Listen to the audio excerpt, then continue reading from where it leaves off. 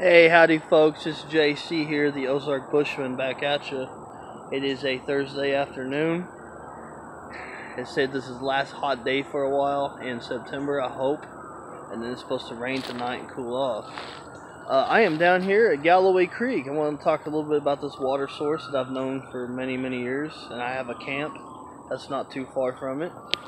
As you can see, folks, we have not had any rain in a long time. This creek is dried up.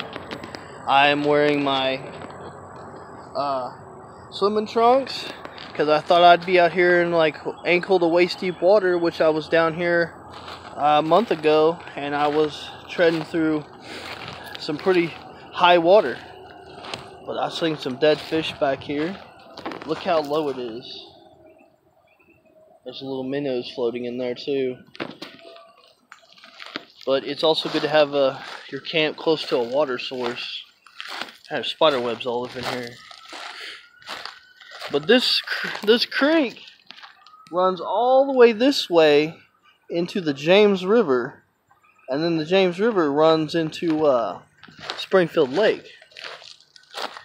So you got one small water source, a creek, a river, a bigger water source, and then the, the lake, which is a gigantic water source. So it all ties in together. And folks, if you ever get lost on the trail, look for water and follow the river. It'll always take you to usually a town or where people are at. Because wherever there's water, there's going to be people. That's just human nature. But I just want to show you all how dry this is. Look at that. There's like one little pond. So it doesn't look like I'm going to be uh, doing any swimming today. or even getting in ankle deep water, you know. It don't feel too bad down here. It feels pretty good, actually. It's cool. But, yeah, if I follow this, follow this all the way around, it takes me up to the nature center. It's a conservation area where it's open to the public, federal land and stuff. If I follow that, it'll take me all the way to the lake. It gets pretty deep here after when you get to the river. Look at this.